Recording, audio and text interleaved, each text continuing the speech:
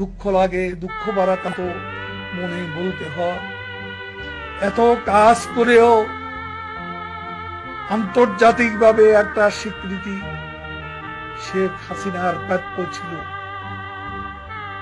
অথচ অশান্তির দেশে নোবেল শান্তি পুরস্কার আছে যেখানে যুদ্ধ, বিগ্রহ, যেখানে লেগে আছে গৃহযুদ্ধ অবিরাম গণহত্যা।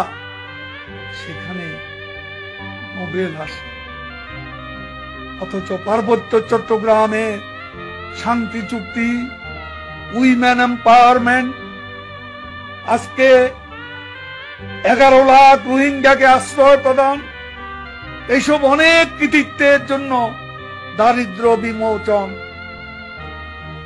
অনেকগুলো সাফল্য শেখ হাসিনা। সেজন্য আন্তর্জাতিক একটি স্বীকৃতি। key